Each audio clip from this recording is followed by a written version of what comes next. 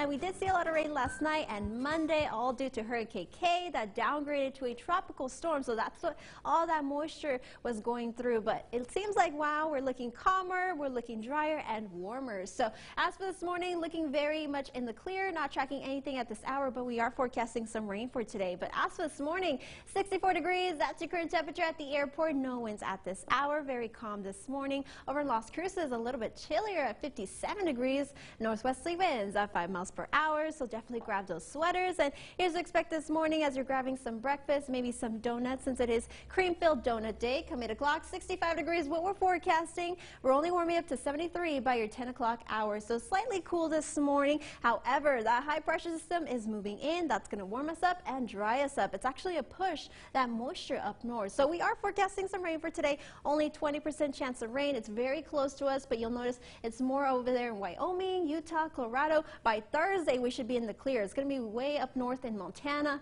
Idaho. So we'll be back to the 90s tomorrow for your Thursday as well. As far as your expected highs, we'll at 76 in Silver City, 84 in Deming, 83 in T or C, 88 in Juarez. So back to the 90s for your Thursday. By Friday, we're looking at 94 degrees, 95 on Saturday. Warmest day is going to be on Sunday at 96 degrees. More rain chances next Tuesday.